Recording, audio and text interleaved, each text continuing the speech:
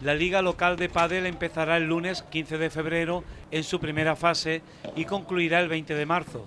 A continuación se jugará el torneo del 21 de marzo al 24 de abril y concluirá con la tercera fase del 25 de abril al 29 de mayo. Las finales se jugarán del 17 al 19 de junio. Se han convocado las categorías de segunda a cuarta para adultos y menores en masculino y femenino. El plazo de inscripción finaliza este próximo viernes, día 12 de febrero.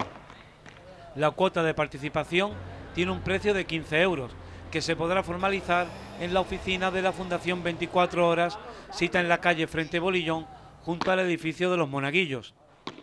La Liga Municipal de Padel está organizada por la Delegación de Deportes y la Fundación 24 Horas Deportivas.